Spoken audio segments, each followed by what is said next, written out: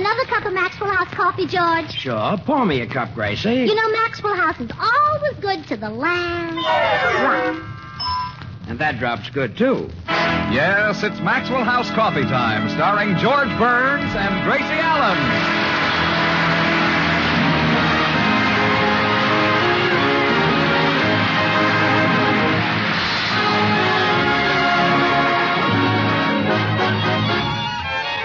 With yours truly, Toby Reid, Gale Gordon, Elliott Lewis, Hans Conried, Verna Felton, Meredith Willson, and the Maxwell House Orchestra, and Bill Goodwin. For America's Thursday night comedy enjoyment, it's George and Gracie. And for America's everyday coffee drinking enjoyment, it's Maxwell House. Today, more Americans buy and enjoy Maxwell House than any other brand of coffee at any price. Yes, Maxwell House, always good to the last drop.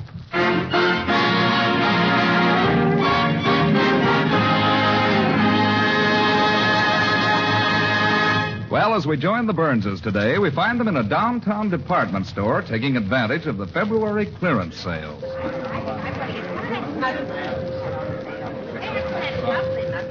These clearance sales are wonderful places to save money, George. Yeah, I guess so. What do you need? Oh, just little odds and ends. Do you want to get some things for me while I look at bath towels? Sure. All right. Here's a pencil. Make a list. Okay. Um, a sink strainer, Sink strainer, a paring knife, paring knife, uh, a pot holders, pot holders, uh, floor wax, floor wax, mink coat, mink coat, potato masher, potato. Wait a minute. dish rag, Wait a minute. paper towel. Hold it, hold it, hold it. Dish rag, paper towels. How did a mink coat get in there? Oh, you noticed it, huh? Yeah, it was hard to do. Oh, well, I thought. I, I thought if I buried it in the middle of the list, you might buy it before you realized it. Uh, forget it, huh? Forget it, forget it. I should say Well, that. is it all right if I get an old beat-up second-hand mink coat? Second hand? Well, I'll be about the 15th to wear it. Who wore it before? 14 minks. Gracie, I wasn't born yesterday. What do you take me for? Mink coat, I hope. Forget it. Now let's buy those other items on the list. Uh, how many pot holders do you need? 14. What kind? Mink, I'll sew them together.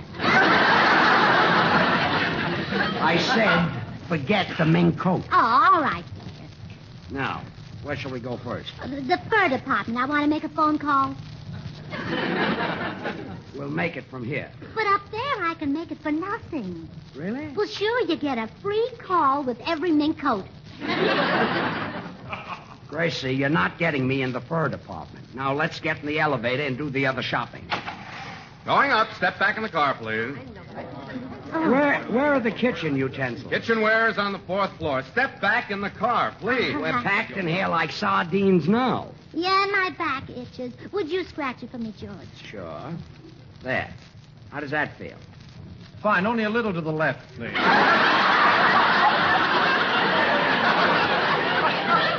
Oh, I'm sorry. I got the wrong bag. There. How is that? Fresh. Again, I missed. George, my back still itches. I'll try once more. Oh, that feels wonderful. Thank you. You're welcome, lady.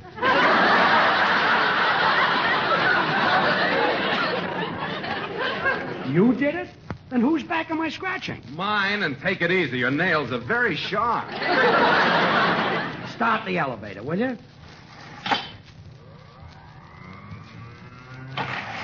Second floor, ladies' shoes, hats, gloves, and dresses. Going up.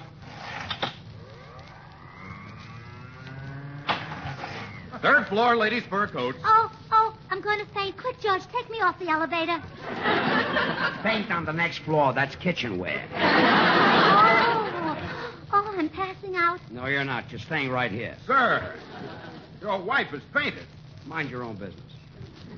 Are you just going to stand there with an unconscious wife? Why not? I've been doing it for 14 years. You carry her off this elevator, or they'll be carrying you off. Okay, okay. Try a piggyback. Oh, never mind. I've got her now. One side, folks. My goodness, what's happened? This lady fainted. Oh, where am I? You're in the fur department. Shall I throw some water on you? No, just throw a mink coat on me. Okay, Gracie, you tricked me into the fur department. But you're still not getting a fur coat. You're just in time to see our fashion show. The models will parade by here in all our latest fur creations. We're not interested. We're just leaving. And then they remove the furs and model dresses. Sorry, we're in an awful hurry.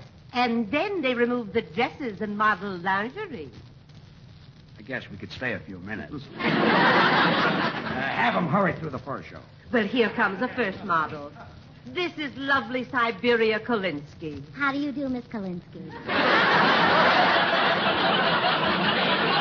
Kolinsky is the name of the fur. Oh. And here is a perfectly divine number. Note the full sleeves and extreme length. It took 12 beavers to make this coat. Really? How long did it take them? The beavers contributed their skin. Oh, well, it's beautiful. Oh, and it feels so soft. Gracie, get your hands off that coat. Oh, I just want to stroke it, George. I won't hurt it, George. I just want Take to it stroke easy, Lenny. Take it easy. you know, this is awfully pretty. Maybe I was hasty about not getting you a fur coat. How much is this coat, miss? Only $4,300. Miss, you know that water you were going to throw on me? Yes? Well, you better throw it on my husband. He's fainted.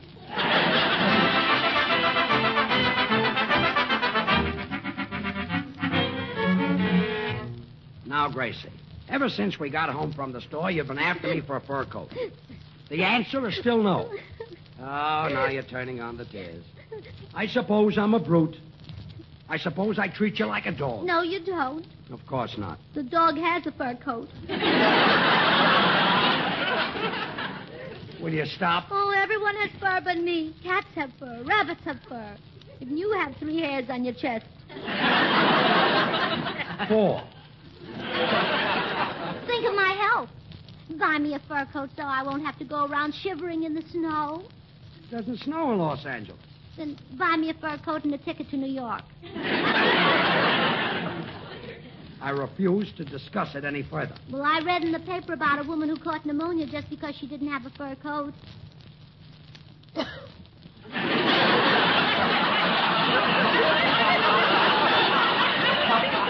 uh, she caught pneumonia and died. better, better have your black suit pressed, George. Marry again, but not too soon. Remember me a while. and George, take my insurance money and buy yourself a fur coat.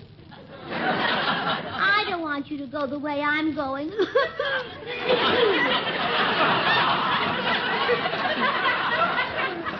Forget it, huh? Forget it. Forget it. Now go get lunch. No. All right, dear. What a woman I married. Oh, well. Better than going back with Bankoff and Gurley.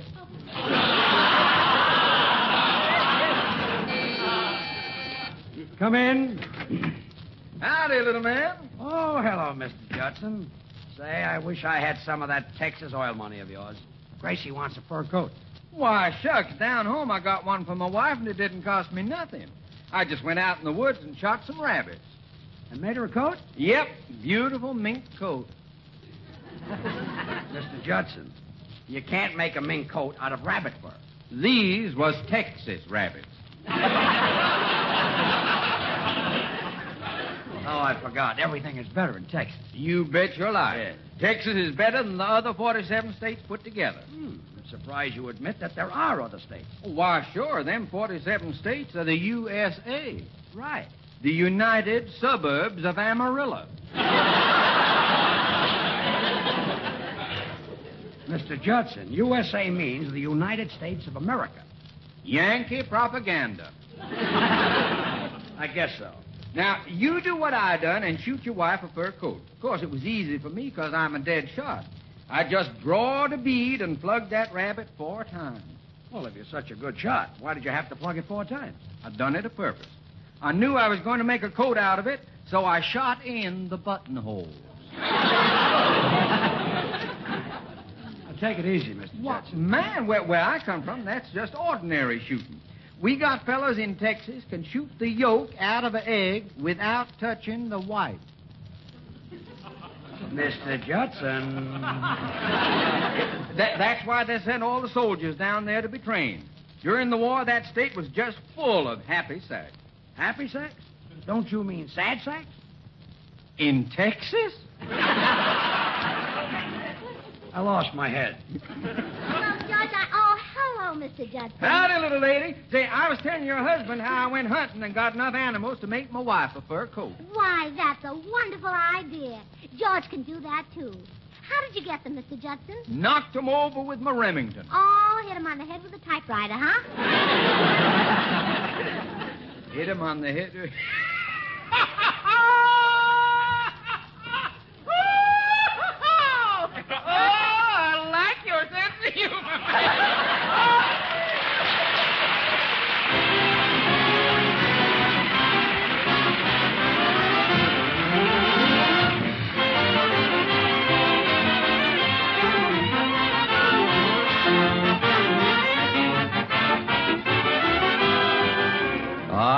title song from Oklahoma. Still going great guns five years after opening night. How about that, Meredith?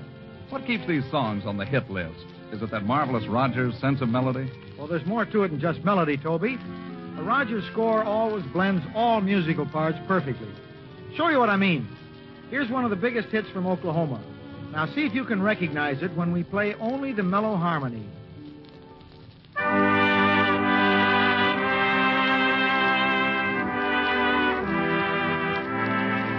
Now we'll add a rich counter melody. Well,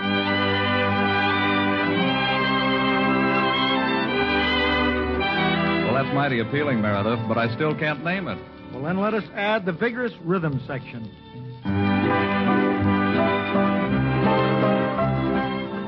And now we'll round out the song with a melody to complete this blend of one of the most popular American songs of recent years.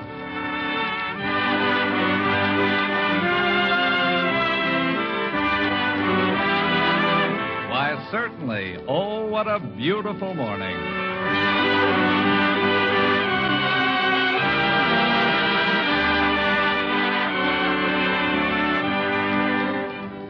And friends, just as America's favorite melodies are created by carefully blending many orchestral parts, so too with the creation of America's favorite brand of coffee, Maxwell House. For the superb good to the last drop flavor of Maxwell House is achieved by blending not one, but many varieties of premium, Highland grown Latin American coffees. With painstaking care and skill, the Maxwell House experts select Manizales for mellowness. For richness, they add Medellins. For vigor, they choose other choice coffees.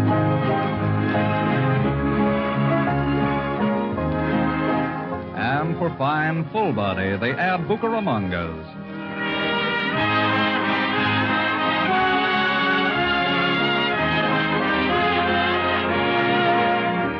All adding up to great coffee, radiant roasted to the very peak of flavor perfection. And brought to you roaster fresh, two ways, either in the familiar blue tin or in the brand new ultra vacuum glass jar.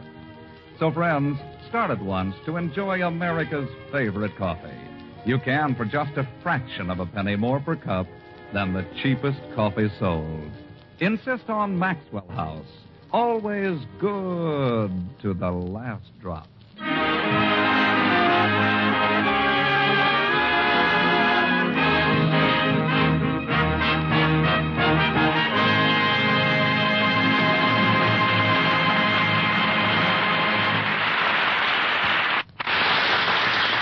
Listen, Gracie. Just because Mr. Judson shot a fur coat for his wife doesn't mean I can do it. Why not? Why not? He's good. That guy can shoot a rabbit blindfolded. Well, so could you if you saw a blindfolded rabbit. Suppose I shot a couple of rabbits. Would you be satisfied with a rabbit coat? George, I'd rather have a rabbit coat from you than a mink from Saks. Really? Can I have a mink from Saks? No. I'd rather have a a rabbit rabbit from from you. you. I know. Well, thanks very much. Come in. Hello, Gracie. Hello, George. Oh, hiya, Dr. Miller. Oh, Dr. Miller, I'm so glad you're here. You're a psychiatrist. Now, maybe you can reason with George. What about? Well, I could have a fur coat if he'd go out in the woods and get the rabbits, but he doesn't think he can. Why, of course you can, George. It's the law of nature that man should wear the skins of animals because he's more intelligent. Yeah, huh? Certainly. That's why Gracie can wear a rabbit skin coat. If the rabbit was smarter than Gracie, it would wear a Gracie skin coat. I never thought of it that way. Uh, hey, a hunting trip might be fun.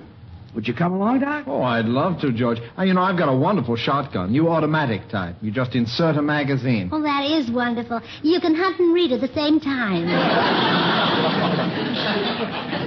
Um, what, uh, what are you thinking about, Doc?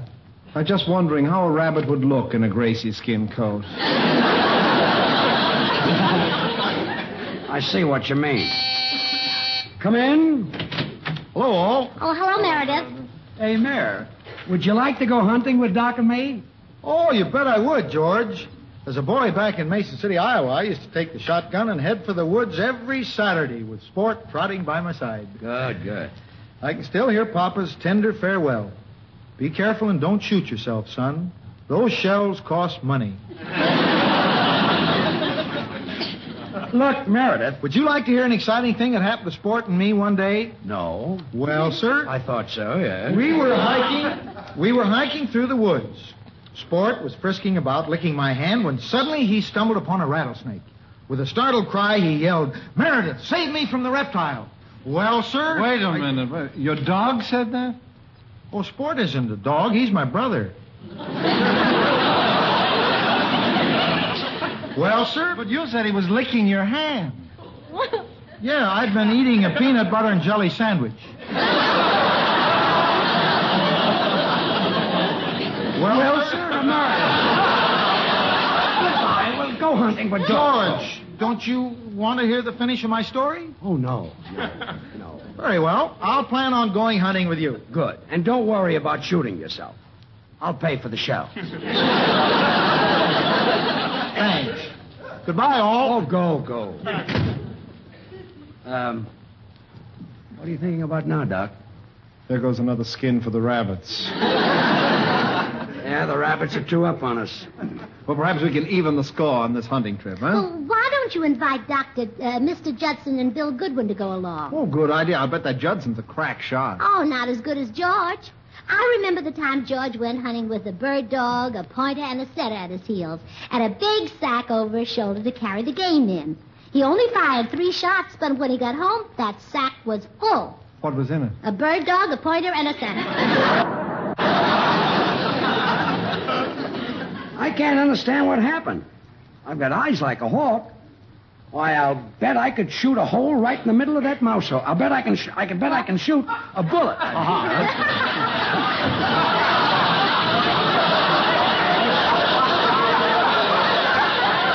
I wouldn't worry, Doc. That's only twice today.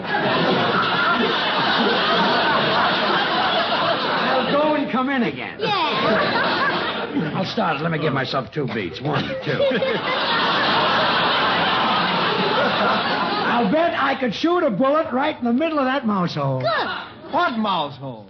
There in the corner. That's the fireplace. I wrecked it, didn't I, Doc?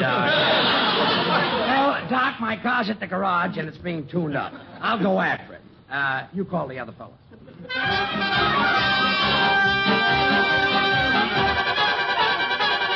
Your car's all ready, Mr. Burns.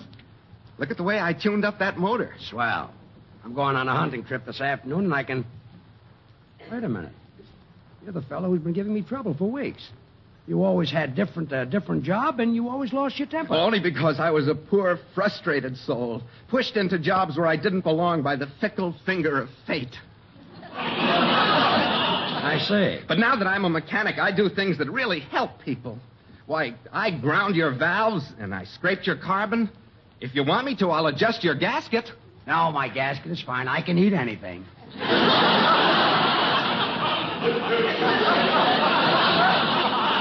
I'm so happy with this job. Glad to hear it. Let's have my keys. Being a mechanic has taught me a lot about life, too.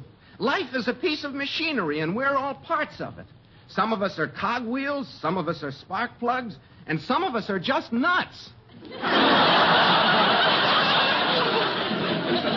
That you are. Happy with this job. Please, the keys. I've put this engine in tip-top condition. When you drive off, it'll surge with power. Good, good, good. Let me have my keys. You'll be able to pass everything on the road. And you'll go by.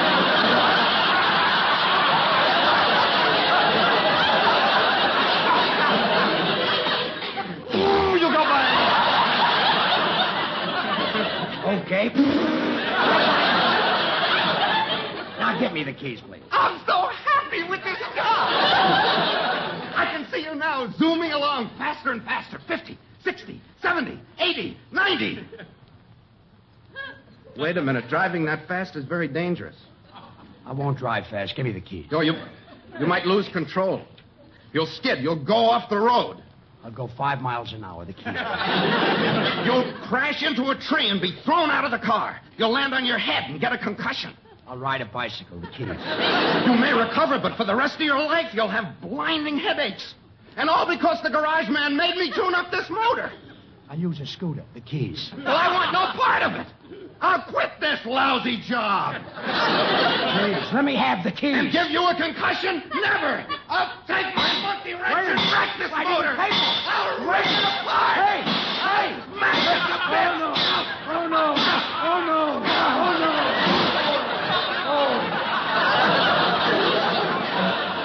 There. I've kept you from having a headache.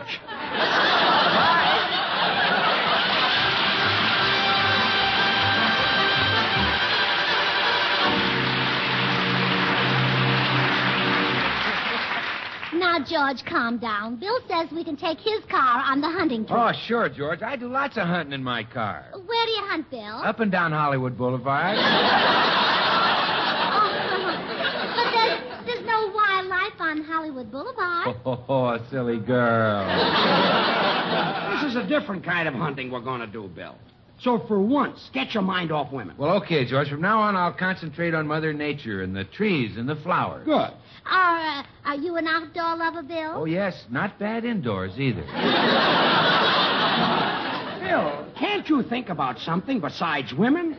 Think about animals. Oh, all right, George. I'll think about those soft little creatures running around in Griffith Park and. Oops, there I go again. This guy is murder. Now look, Bill, do you want to go hunting or don't you? Well, I do, George. I do, but it's hard for me to forget women. Oh, bother the women. Don't suggest that. He'll never go hunting. You're not kidding. Come in. Come on, Mr. Judson and Meredith and I are ready. Yeah, I'm hankering to do some shooting. Me too. Uh, say, how about food? We've got it. I told Gracie to put some real hunter's grub in these packs for us. Beans, bacon, and coffee. Oh, that's- oh, now, here is the sack. Oh, my goodness. What's the matter? The sack I put the hot coffee in is leaking. You made the coffee before you put it in the sack? Well, certainly. You don't expect me to leave everything to the last minute, do you? Gracie, when it comes to coffee, just leave everything to wonderful Maxwell House. Oh, yes, it's the very best in coffee drinking pleasure. Yet it costs but a fraction of a penny more per cup than the cheapest coffee you can buy. Yeah, I, I understand that with thousands of brands to choose from, more people buy and enjoy Maxwell House than any other brand of coffee in Texas. Not just in Texas, Mr. Judson, in the world. Well, I was making it sound more important. Well, anyway, Gracie, you can make the coffee out in the woods. Just take our coffee pot. All right, but where will I plug it in? Not the electric one. Never mind, little lady. I got a coffee pot in my camping outfit. Yeah, Gracie, you just bring along a tin or a jar of that roaster fresh Maxwell House coffee. You know, it comes to your roaster fresh two ways now in the familiar blue vacuum tin or in the new ultra vacuum glass jar. All right, Bill. Well, let's get going. I want to shoot some rabbits. You think you can hit one, little man? Oh, George is a wonderful shot. He can shoot from the shoulders or he can shoot from the hip. Yeah? Can't wait to get out there and take a couple of pot shots. Shoots from there, too, huh? Come on. Let's go. Let's go.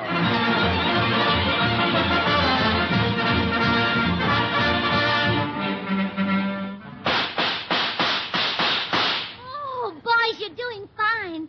I've almost got my fur coat. Yes, George is the only one who hasn't shot anything. Well, watch this.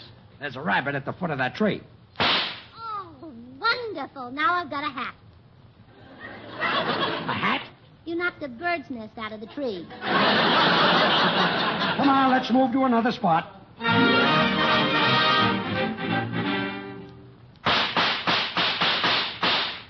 Well, you'll soon have your coat, Gracie. I got five rabbits. How many have you got, Doc? Seven. Uh, Meredith? Nine. Judson? Twelve. George? Oh, shut up. Gracie, George is becoming more and more depressed about his poor marksmanship. But I think I've got a plan to restore his self confidence. Uh, oh, what is it, Doctor? Well, you take the rabbits that the rest of us has shot and go around behind that big rock. We'll tell George that there are rabbits on top of it, and every time you hear him shoot, toss one over the rock. Oh, and he'll think he killed it. Exactly. I'll tip off the others and we'll all get started. All right.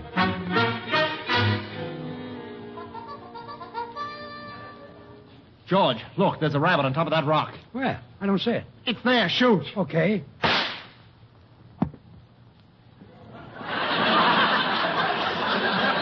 I'll be done. I hit it. It fell right at my feet. Hey, there's another on the rock, George. I don't see it. Go ahead, shoot. Okay.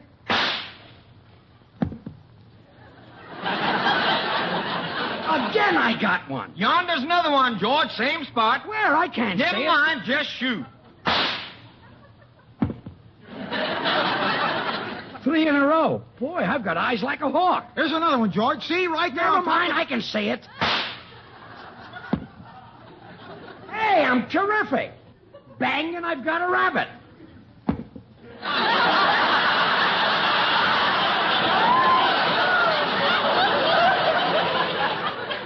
Another one? But I didn't even shoot. I just said bang. Wait a minute. There's something phony going on here. Bang, bang. I thought so. Who's behind that rock? Nobody but us rabbits.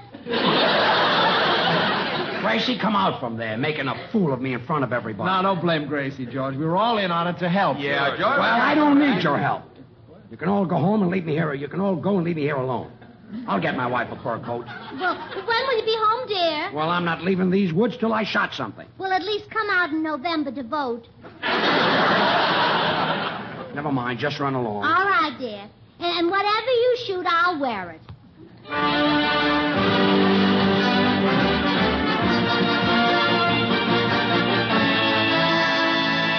Oh, George, I knew you could do it. I'm so proud of you. Are you really happy with what I shot? Oh, you bet I am, darling. I'll be the only woman in town with a cowskin coat.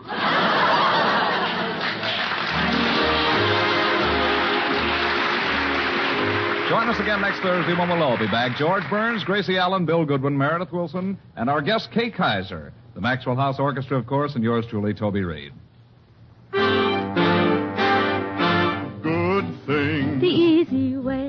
Like good things the easy way? Then get instant Maxwell House coffee.